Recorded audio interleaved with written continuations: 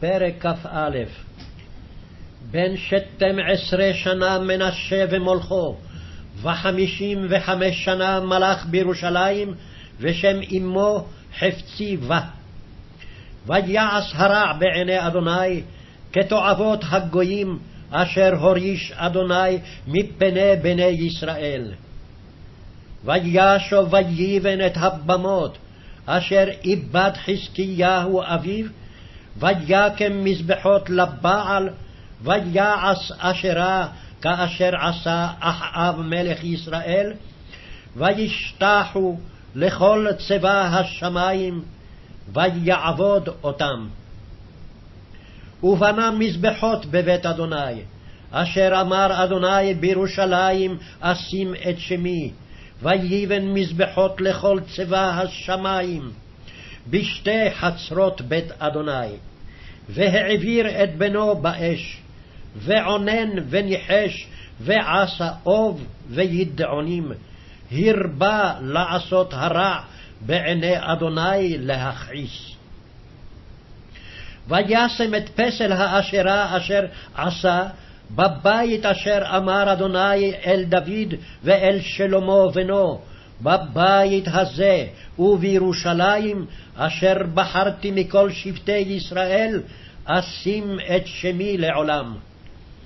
ולא אוסיף להניד רגל ישראל מן האדמה, אשר נתתי לאבותם, רק אם ישמרו לעשות ככל אשר ציוויתים, ולכל התורה אשר ציווה אותם עבדי משה.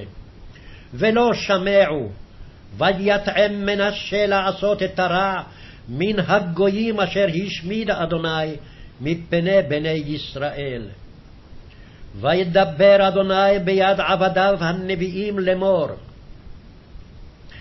יען אשר עשה מנשה מלך יהודה התועבות האלה, הרע מכל אשר עשו האמורי אשר לפניו, ויחטיא גם את יהודה בגילוליו.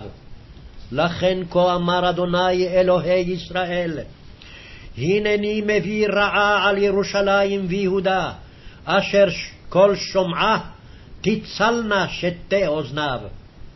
ונטיתי על ירושלים את קו שומרון, ואת משקולת בית אחאב, ומחיתי את ירושלים כאשר ימחה את הצלחת מחה, והפך על פניה. ונטשתי את שארית נחלתי, ונתתים ביד אויביהם, והיו לבז ולמשיסה לכל אויביהם. יען אשר עשו את הרע בעיני, ויהיו מכעיסים אותי מן היום אשר יצאו אבותם ממצרים ועד היום הזה.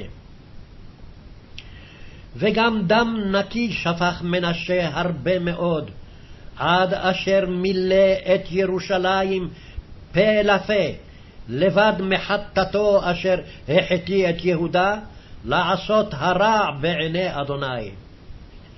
ויתר דברי מנשה וכל אשר עשה, וחטאתו אשר חטא, הלא הם כתובים על ספר דברי הימים למלכי יהודה.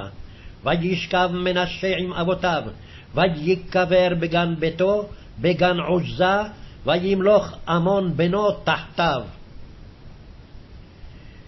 בן עשרים ושתיים שנה עמון במולכו, ושתיים שנים מלך בירושלים, ושם אמו משולמת בת חרוץ מן יוטבה. ויעש הרע בעיני אדוני כאשר עשה מנשה אביו. וילך בכל הדרך אשר הלך אביו, ויעבוד את הגילולים אשר עבד אביו, וישתחו להם. ויעזוב את אדוני אלוהי אבותיו, ולא הלך בדרך אדוני.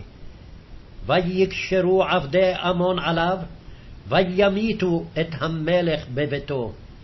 ויח עם הארץ את כל הקשרים על המלך עמון, וימליכו עם הארץ את יאשיהו בנו תחתיו. ויתר דברי עמון אשר עשה, הלא הם כתובים על ספר דברי הימים למלכי יהודה. ויקבור אותו בקבורתו בגן עוזה, וימלוך יאשיהו בנו תחתיו.